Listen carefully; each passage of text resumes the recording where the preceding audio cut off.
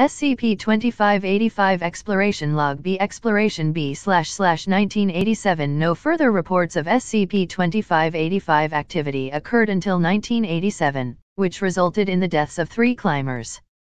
Due to this, another exploration was planned to verify the status of the anomaly.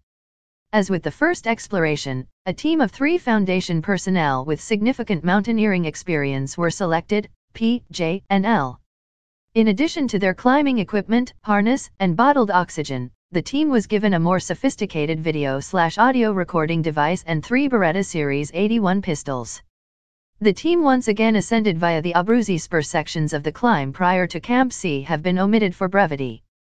P. Base, we are about to start towards Camp D, no anomalies. Base, how's the team? Report everything, no matter how minor. Indistinct talking is heard, muffled by the wind. P. J says his fingers are cold. Base, is that everything? Altitude sickness, frostbite, anything? P. Nothing, we're all green, here. Base, alright, we'll maintain silence until you find something. Report anything new. P. Roger. Out. 21 minutes of silence.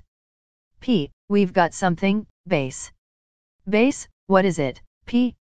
P. The terrain is different. I've climbed K2 before, this ridge should head north, not south.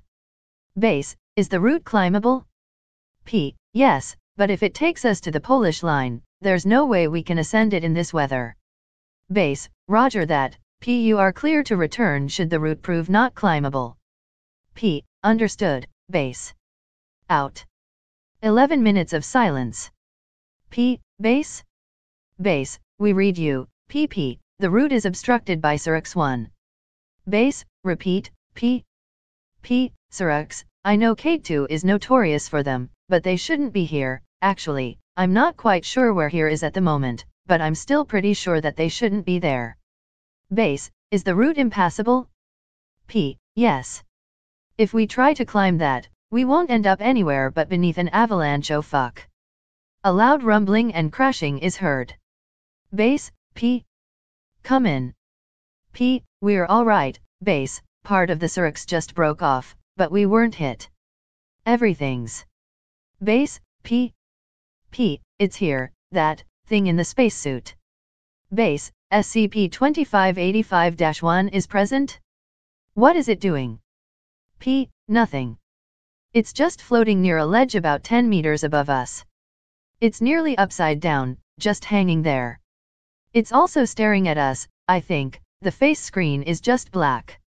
Base, is the team alright? P, everyone seems okay. Base, are you sure you're alright, P? P, I've climbed EIGER2, Annapurna 3, and this is my third time on K2. The astronaut really isn't frightening me much. Base, I see. Please continue to observe SCP-2585-1 and inform us if anything changes. P. Roger, base. It's still just floating there, I wait a moment. Base, P. P. It's holding its hand out towards us. The palm is facing us, fingers outstretched. I'm not sure if it's reaching out to us or. Base, P. Come in. P. The, the seracs are moving. The wall is shifting slightly. Base, fall back, P. Mission aborted, fall back. P. Retreating, Base, stand by. 5 minutes of silence. P. We've lost sight of the entity and the seracs, base. Everyone is still, uh, alive. Base, do you see or hear anything else? P. We see fog and hear wind, the storm's gotten a lot worse. Mission still aborted, base? Base, yes, there's really nothing more you can do up there. P does not respond. Base, P, a sound resembling a muted shriek is heard, source unclear, contact is then lost. P, J, and L are first observed finishing their descent 45 hours later. P was physically well, aside from issues attributable to the conditions, though no permanent damage was accrued, J was suffering from frostbite and had to have three digits amputated, and L has no memory of the events on K2 whatsoever. P and J were able to attest that they had encountered SCP-2585-1 again during their descent, and had attempted to contact base camp several times, without response. The muted shriek heard prior to communication failure was created by J upon seeing SCP-2585-1. Aside from SCP-2585-1's reappearance, the team reported no further anomalies during descent. Analysis of the video feed demonstrated an abnormality, however.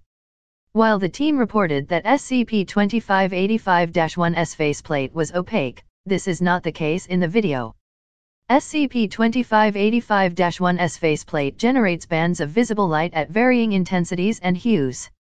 At times these bands produce an image similar to a human face, or alternatively a set of fractals that coincide with a heightened presence of digital artifacts. Closer analysis reveals that, in several images, both the human face and the second phenomenon are visible. During these periods, the two images appear to either share the area behind the faceplate, or merge together, the latter of which is extremely distressful for the human face. P and J were not able to account for this inconsistency, L, however, who has remained consistent that he cannot remember any of the events on K2, screamed at the sight of the video and became so distressed that he had to be administered sedatives. Following the episode, L could not account for why he screamed, and did not react as such during a second viewing.